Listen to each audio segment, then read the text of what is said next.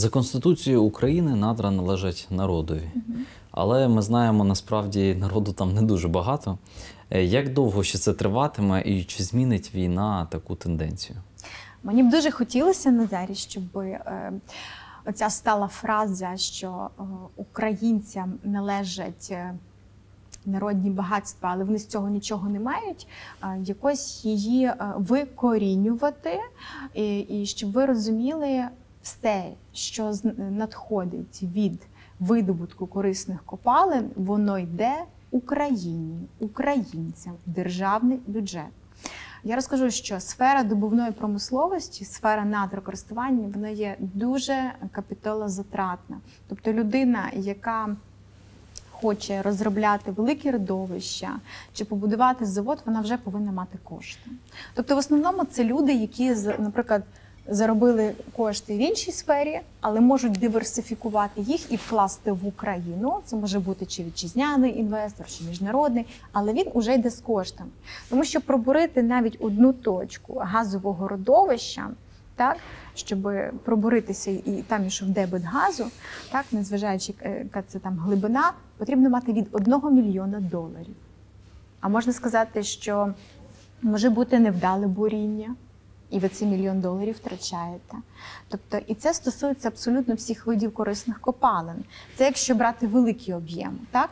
Але якщо ви українець і хочете розробляти, займатися цим, ми е, нещодавно е, Верховна Рада е, розповім, прийняла закон 4187, над яким працювала ціла галузь, і ми, як асоціація, в тому числі, і перші наші напрацювання, як тільки ми відкрилися як асоціація, саме увійшли до цього законопроекту.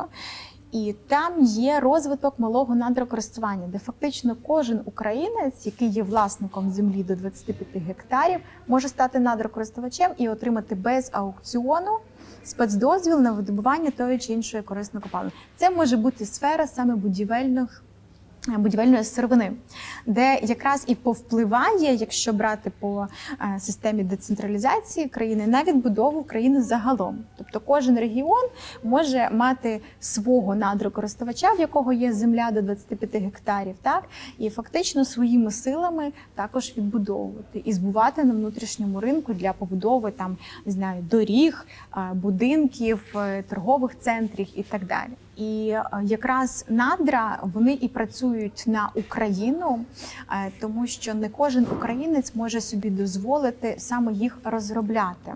Але так як дійсно по конституції нам з вами належать е, ці багатства, то вони і так працюють, тому що все, що знаходиться навіть нас оточує, це все корисні копалини, наші меблі, які виготовляють в Україні, тобто керамічні столи і так далі, та облицовувальні якісь е, речі е, для побудови різних там. Чи ремонтних робіт і так далі, це все є е, український сегмент з українських надр. Та це група товарів. Тому наші надри якраз для нас і працюють, тому що нам дешевше закуповувати, наприклад, від українського виробника, який видобув корисну копалину в Україні, зробив з нього певний продукт, і ви зробили ремонт е, саме з українських е, якоїсь продукції з української, ніж ви будете вибирати італійську плитку, е, яка, наприклад, корисна копалина була видобута в Італії чи в іншому регіоні, зроблено, наприклад, там десь теж за кордоном, і вам її привезли. Тобто вона буде в 4-3 рази дорожче. Ось, але за рахунок того, що в Україні є така сировина, тому в нас цей сегмент він для нас більш доступніший і, і в принципі не гіршої якості.